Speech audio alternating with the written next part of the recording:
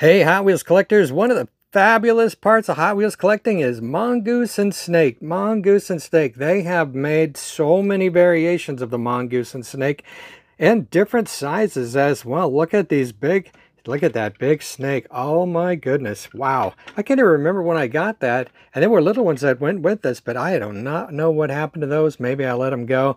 Here's the Mongoose. Look at that. Isn't that beautiful under there? Oh my goodness. Got a few original mongoose and snakes, and then I've got these transporters. I wish I would have got these out. I'd like to get those out and play with them, but the boxes are so pretty. And then that later model one up there, wow, they are so cool. Those definitely need to be ripped open.